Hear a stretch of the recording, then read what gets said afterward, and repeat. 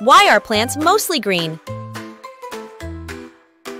Plants are mostly green because of something called chlorophyll. Let's learn why.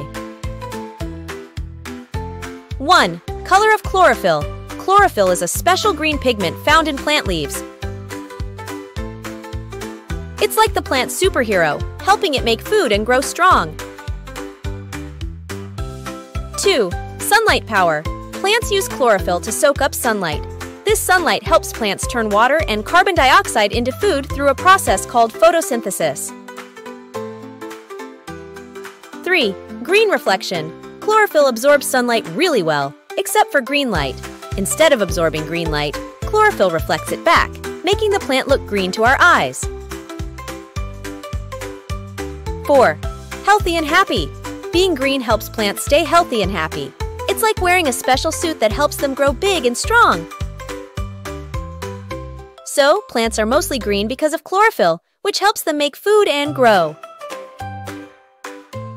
It's like their secret ingredient for staying healthy and strong.